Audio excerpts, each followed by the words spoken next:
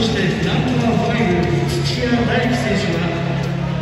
福岡大学大堀高校出身の現在早稲田大学2年生特別指定選手で大学しております。えそして、えー、ナンバー3松山選手は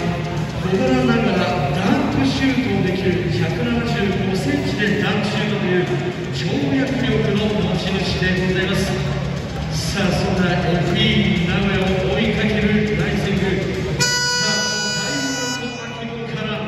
あ第2